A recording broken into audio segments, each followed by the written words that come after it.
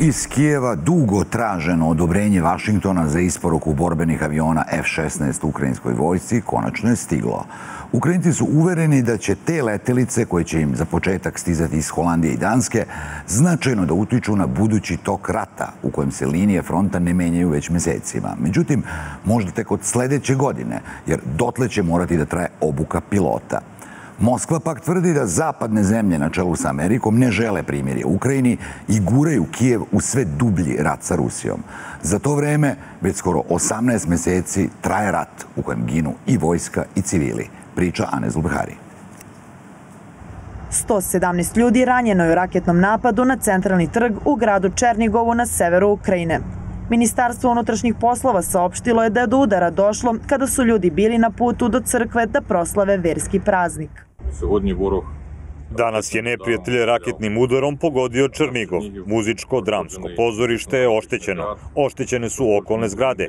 Do sada je sedmoro mrtvih, uključujući jedno dete.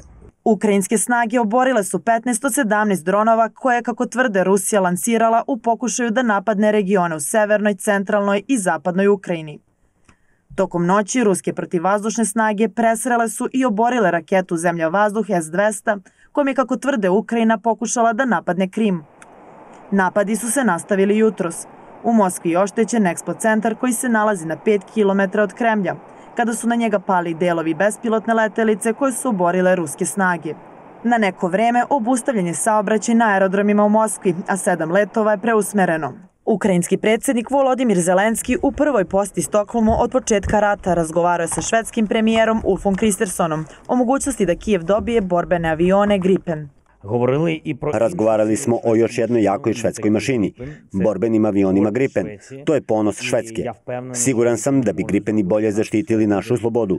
Ukrajinski piloti su već započeli probne letove. Švedska koja je odustala od dugogodišnje politike vojne neutralnosti kako bi podržala Ukrajinu u ratu protiv Rusije, odobrila je slanje još jednog paketa pomoći vrednog 300 miliona dolara, uključujući i vojnu opremu.